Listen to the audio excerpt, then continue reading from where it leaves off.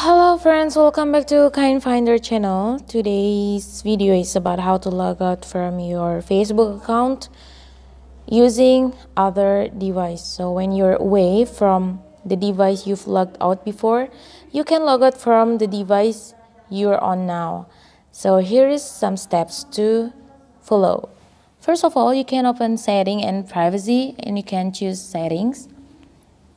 After that, you can choose security and login. By tapping that, you can see when you're logged in, there are devices that you've logged in before. So you can click on the triple dots here and you can tap secure account or log out. If you want to log out, you can tap log out. When you have tapped the logout, it means your account is already logged off from the device you've logged in before. Okay, it was how to log out from another device. So to make it clear, let's do it one more time. Let's open your Facebook apps here click on your Facebook app and then go to the settings. You can tap on the right. And then click setting and privacy.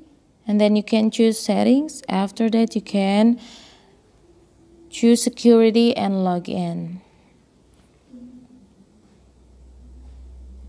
after that you can see there are some devices that you have used to log in into your Facebook account, you can click on the triple dots and then click log out. Yes, you can click log out. When you have logged out, it means your Facebook account is already logged out from your previous device. Okay guys, it was how to log out your Facebook account from another device. So hopefully it's helpful and have a try. If you don't want to miss any update from us, please don't forget to like, comment, and share, and subscribe our channel, Kind Finder. Thanks for watching, and always cheer up and see you.